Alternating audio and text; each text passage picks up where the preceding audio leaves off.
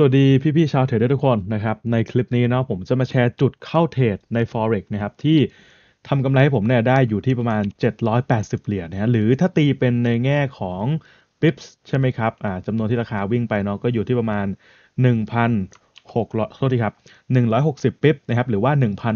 1,614 จุดนั่นเองนะครับผมนี่คือกำไรทั้งหมดที่ผมปล่อยวิ่งมา run เทรนด์มา ซึ่งในคลิปนี้ผมจะอธิบายให้ฟังว่า เหตุผลที่ผมเข้านะครับ เทคนิคที่เข้าเนี่ยและวิธีการคิดเนี่ยมันเป็นยังไง แล้วทำไมผมถึงกล้า ถือเทรดวิ่งยาวอะไรขนาดนี้ตั้งแบบ 160ปิปหรือ 1,600 กว่าจุดเลยนะครับผมซึ่งเทรดนี้ถ้าเราดูที่เวลานะครับจะเห็นว่ามันเขียนตั้งแต่วันที่ 15 กันยายนเนาะก็เข้าเทรดเมื่อ2ทุ่ม40นะครับปิดเทรดเมื่อ 16 กันยายนเวลาเที่ยงนั่นเองนะครับผมผมเป็นการปล่อยเทรดวิ่งรันเทรดนะครับซึ่งต้องย้ำก่อนเลยชี้แจงก่อนเลยว่าเทรดนี้ในบัญชีนี้เนี่ย เป็นบัญชี demo นะครับผมซึ่งเป็นบัญชี demo ของพอร์ตสอบกองทุนนะครับคือตอนนี้ผมสอบกองทุนอยู่เนาะถ้าดูตรงนี้จะเห็นว่ามันเขียนว่า X Cap Demo ก็คือเป็นบัญชี demo ของทางโบรกเกอร์ X Cap นะครับผมสอบในตัวของ The Funded Trader หรือว่า TFT นั่นเองนะผมซึ่งก็เป็นในส่วนของกองทุนนะฮะคือจริงเนี่ยของผมนะครับผ่านไปแล้วบัญชีหนึ่งนะครับห้าหมื่นเหรียญเนาะแต่ว่าเนี่ยเป็นบัญชีที่2นะครับพอร์ตเดิมเลย 50,000 เหรียญเหมือนกันนะครับซึ่งในคลิปนี้เนี่ยผมจะมาแชร์ฟังว่าเออ จุดเข้าเทรดผมเนี่ยมันคือยังไงแนวคิดต่างๆเป็นยังไง เพื่อให้พี่ๆนะครับได้เห็นภาพว่ากระบวนการคิดผมสำหรับคนที่แบบเทรด price action อย่างเดียวเลย ใช้แค่นาดอลต้าเนี่ยเขาหาจุดเข้าเทรดยังไง และทำไมถึง run เทรนด์ได้นานขนาดนี้นะครับอะไปฟังกันเลย ก่อนอื่นเลยนะครับ ก็เทรดนี้ผมเปิดที่ความเสี่ยงไม่ได้เยอะมากนะครับ เปิดแค่ 1.5 ล็อตเนาะก็ได้กำไรอยู่ที่ประมาณ 700 เหรียญเราเช็คขวามือนะครับหรือตีเป็นเปอร์เซ็นต์ของพอร์ต 50,000 เหรียญนะอยู่ที่ประมาณ 1.5%นะครับของพอร์ตนะ 1.5%ของพอร์ต ซึ่งตอนนี้ถ้าลองเช็คดูนะครับ ผมเหลือแค่อีกประมาณ 3%ก็จะผ่านแล้วนะครับ อีกพอร์ตหนึ่งนะ นั่นหมายความว่าถ้าผมผ่านพอร์ตนี้ด้วยนะครับ บวกกับพอร์ตที่แล้วด้วยเนี่ย ก็จะกลายเป็นว่าผมเนี่ยได้พอร์ตเทรดทั้งหมดอยู่ที่1 0 0 0 0แสนดอลลาร์นะครับ คือเป้าหมายของจบปีเนี้ยผมกะว่า 2 0 0แสนเหรียญนะ ผมก็ไม่รู้ว่าจะถึงไหม แต่คิดว่าคงถึงนั่นเอง นะครับอะเรามาดูจุดเข้ากันเลยนะครับเดี๋ยวผมปิดพวกนี้ก่อนเนาะย้ำว่านี่เป็นบัญชีเดโมกองทุนแต่ไม่ต้องสนใจนะครับ เรามาดูเทคนิคการเข้าดีกว่านะฮะเนาะอะเรามาเริ่มกันที่ในส่วนของ time frame daily นิดนึงนะครับทำไมต้อง daily เพราะว่าเราจะได้เห็นภาพรวมว่าอะไรมันเกิดขึ้นไปบ้างนะครับ ในส่วนของ daily เรามาดู time frame 30นาทีก่อน เดี๋ยวผมทำการ copy เส้นเดี๋ยวเส้นสีแดงตรงนี้นะครับ ลูกศรสีแดงตรงนี้คือจุดที่ผมทำการกดเซลล์ลงมานะครับ ก็ทำการ copy ไปดูเนาะไปดู time frame daily ฮะ อ่า ถ้าเรามาดู time frame daily จะเห็นภาพชัดขึ้นว่าเฮ้ยผมมีการเข้าเมื่อแท่งนี้นะครับทะลุไส้เทียนตรงนี้ลงมานะฮะเหตุผลที่เข้าตรงนี้เรามาอ่านแท่งเทียนก่อนว่าเราเห็นอะไรบ้างเนาะอันดับแรกนะครับเดี๋ยวผมทำการ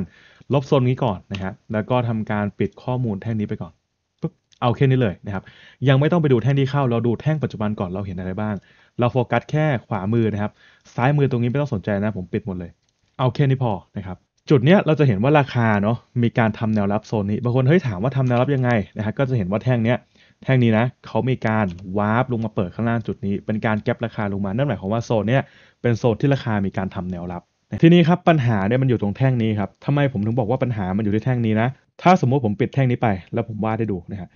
ลักษณะกราฟเป็นทรงแบบนี้ไม่ต้องสนใจว่ามันขึ้นมาเยอะแล้วหรือยังเอาแค่แบบว่าโครงสร้างราคาก่อน ถ้ากราฟเป็นทรงนี้นะครับ เราต้องสังเกตเทรนด์ในตลาดก่อน จะเห็นว่าผมมีการพูดถึงเทรนด์ในตลาดทุกครั้ง เพราะว่าอันนี้มันคือ basic พื้นฐานของทฤษฎี Dow Theory จะเป็นทรงนี้นะครับ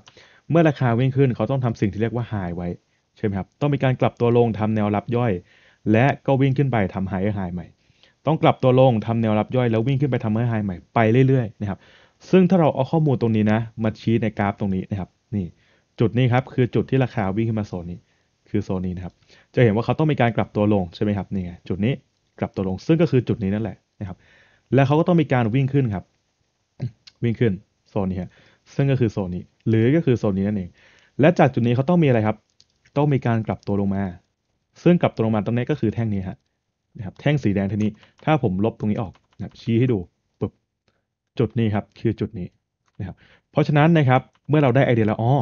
ราคาต้องกลับตัวลงมา แสดงว่าผมเนี่ยกำลังมองหา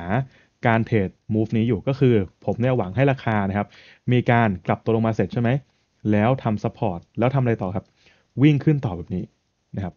ซึ่งถ้าผมดูตรงนี้นะ ก็จะเห็นว่าเดี๋ยวชี้ดูทีจุดจะได้เห็นภาพมากขึ้นนะครับ วงให้ดูเลยนะ เอาเป็นสีแดงนะครับ สีม่วงแล้วกัน จุดนี้นะครับคือจุดนี้ใช่ไหมครับ ราคากลับตัวลงมาโซนนี้คือโซนนี้ครับ กลับตัวขึ้นไปใหม่โซนนี้คือโซนนี้ อันนี้มันจะดูยากนิดนึงบางคนถามเอ้ย มันคือไส้นี้หรือไส้นี้มันมองได้หมดเลยนะครับ แต่ผมคิดว่าน่าจะเป็นไฮตรงนี้มากกว่านะครับก็จุดนี้นะไฮนี้คือไฮนี้ครับ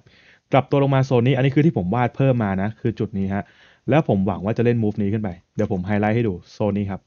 ซึ่งก็คือแท่งนี้แหละที่ผมหวังจะเล่นขึ้น เพราะว่าราคาต้องขึ้นไปทำไฮใหม่จุดนี้นะครับอันนี้คือไอเดียหลักก่อนที่กราฟจะวิ่ง แต่สิ่งที่มันเกิดขึ้นนะครับ คือเดี๋ยวผมลบก่อนปุ๊บอ่าปัญหาคือทรงนี้ครับ เจ้าแท่งเนี้ยคือตัวเปลี่ยนเกมเลย นะฮะแทนที่ว่าเราจะมี move นี้ขึ้นมานะเนี่ยไม่มีครับเราดันไม่มีเดี๋ยวผมลบก่อนไล่ลบทีละอันนะเพราะว่ามันต้องเก็บพื้นหลังไว้อะจากเมื่อกี้นะครับแทนที่เราจะมีแบบเมื่อกี้เนาะคือแบบเนี้ยนะครับเราดันกลายแบบนี้แทนครับคือราคาเนี่ยเขามีการกลับตัวขึ้นนะอาจจะไม่ได้กลับขึ้นหรอกขึ้นนิดนึงแล้วลงมาจุดนี้นะครับจะเห็นว่าเดี๋ยวผมชี้ให้ดูนะ จุดนี้ครับนี่นะก็คือสีม่วงๆตรงเนี้ยคือจุดที่เขามีการเปลี่ยนเทรนลงมา จุดนี้คืออาจจะมองย่านหนึ่งใครที่ยังไม่แบบว่าไม่เข้าใจเทรนตลาดนะครับ เดี๋ยวผมเคลียร์ใหม่ดีกว่า แล้วทำให้ไม่งงนะฮะอะผมปิดตรงนี้หมดเลยปุ๊บปิดให้หมดนะครับ แล้วปิดตรงนี้ด้วย เอาแค่นี้ก่อน เดี๋ยวผมวาดให้ดูใหม่บางคนอาจะงงนะฮะ ราคาขึ้นไปทำไฮใช่ไหมกลับตัวลง จุดนี้คือจุดนี้นะครับ กลับตัวขึ้น และมันลงมาแบบนี้ครับ โซนนี้คือโซนที่มันทะลุโซนพวกนี้ลงมานะครับทะลุแนวรับลงมา เพราะว่าจริงๆเนี่ยถ้าเป็นทรงนี้นะราคาเนี่ยแท่งนี้นะครับเขาต้องมีการเคารพแนวรับตรงนี้ครับ แนวต้านตรงนี้ แนวต้านย่อยตรงนี้ย แนวต้านเปิดเป็นแนวรับเพื่อหาตัวโอกาสวิ่งขึ้น แต่สิ่งที่มันทำคือมันมีการเปลี่ยนเทรนลงมา เพราะนั้นก็มีโอกาสที่ราคาเนี่ยจะลงต่อแบบแท่งนี้ได้นะครับทีนี้เจ้าแท่งนี้คือแท่ง confirm เลยว่าอ๋อราคาจะลงได้แล้วเพราะว่าซ้ายมือเนี่ยเรามี clean traffic มีโซนโล่งๆให้จำไว้เลยว่าถ้าราคาขึ้นง่ายเดี๋ยวมันต้องลงง่ายนะครับเพราะฉะนั้นผมก็เลยอืมตรงนี้เรามี wick ให้ fill ด้วยนะครับถ้าใครที่ตามผมมาจะรู้ wick fill คืออะไรเนาะแต่ถ้าไม่ตามไม่เป็นไรครับ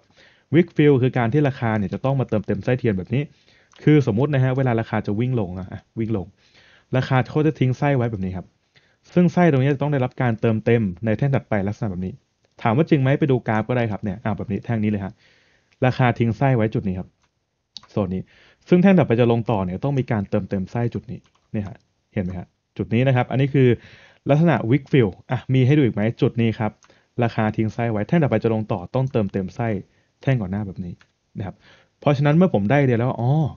ถ้าแท่งต่อไปจะลงต่อเนี่ย มันต้องลงมา wick fill ตรงนี้แล้วมีโอกาสลงไปไกลด้วยเพราะว่ามี clean traffic ซ้ายมือนะครับผมก็เลยได้ไอเดียไปดู time frame เล็กเพื่อหาจุดเข้านะครับเราไม่สามารถเข้าจาก time frame daily ได้เนาะเพราะว่า stop loss มันจะกว้างไป ถ้าผมเข้าตรงนี้นะครับ stop loss ต้องอยู่ตรงนี้เลย ซึ่งก็ประมาณพันกว่าจุด หรือประมาณร้อยกว่า pip ซึ่งมันเยอะเกินไปก็มาดู time frame เล็กครับในส่วนของ time frame เล็กจะเห็นว่าเรามีแนวรับตรงนี้เทรดนี้ผมบอกได้เลยว่ายากนิดนึงเพราะว่าคนส่วนใหญ่นะครับเขาจะเห็นว่าอ้อ ราคาอยู่ที่แนวรับโซนนี้นะครับเขาจะทำการเข้าบ่ายโซนนี้ ซึ่งแบบนี้ไม่ถูกต้องนะครับ เราต้องมีการสังเกตเทรนตลอดเวลานะว่ามันเกิดอะไรขึ้นบ้างนะครับ ตรงนี้เนี่ยผมเห็นแล้วเฮ้ยมันมีการโชว์โครงสร้างราคาว่าจะวิ่งลงมาสังเกตจากวอลลุ่มแท่งนี้เริ่มใหญ่นะครับมีการโชว์ลงมาอย่างต่อเนื่องว่าต้องการจะวิ่งลง เพราะมียังเป็นแดงอยู่นะครับเพราะฉะนั้นถามว่ารู้ไหมเทคนิคจะขึ้นหรือลงไม่รู้ครับเอาแบบไม่ไบแอสนะ ถ้าสมมติผมปิดแบบนี้นะปุ๊บบางคนที่เขาเข้าบายตรงเนี้ยเขาก็ไม่รู้หรอกนะครับว่าแท่งถัดไปเนี่ยจะขึ้นแบบนี้ไหม หรือแท่งถัดไปจะลงลักษณะแบบนี้เขาไม่รู้ครับเพราะนั้นตรงนี้เรารอไปก่อน ผมก็เลยยังไม่ได้เข้านะ แต่ผมเห็นแล้วว่าอ๋อผมรู้ว่าถ้าแท่งถัดไปจะลงต่อเนี่ยมันต้องมีการทำไส้ขึ้นแล้วไฮตรงนี้ครับต้องทะลุเคารพไฮตรงนี้ไอเดียเมื่อกี้เอาไปปรับใช้กับ time frame daily เนาะแต่พอมาดู 4 ชั่วโมง คือผมปิดแท่งปุ๊บแล้วผมเข้าเลยนะครับถ้าไปดู time frame เล็กจะเห็นภาพชัดขึ้นอะมาดู 30 นาทีนะ 30 นาทีมีการเข้าเทรดเมื่อโครงสร้างราคาของ candle 10 เปลี่ยนก็คือ 10 ในแท่งเทียนนะครับผมปิดจุดอื่นออกให้หมดก่อน เอาแค่นี้ก่อนเลย นะครับ แล้วก็ปิดตรงนี้ไปด้วย ถามว่าเห็นแค่2แท่งเนี้ยเรารู้ไหมราคาจะทำไงต่อไม่รู้ครับ แต่สิ่งที่เรารู้คือ ถ้าแท่งถัดไปจะขึ้นต่อเนี่ยต้องเป็นทรงนี้ครับคือไส้ด้านล่างเนี่ยเขาต้องมีการเคารพไส้เทียนตรงนี้ ถ้าใครที่งงคอนเซปต์นี้ลงไปดูคลิปที่ขึ้นมาตรงนี้นะครับนะแล้วจะเข้าใจว่าสิ่งที่ผมพูดเนี่ยมันคืออะไรนะครับเพราะนั้นเนี่ยแท่งถัดไปมันเป็นแบบนี้ครับ มันมีการทะลุเทนแท่งเทียนลงมา ผมคิดว่าเออ น่าจะเป็นจุดที่มันจะลงต่อได้ ผมก็เลยทำการ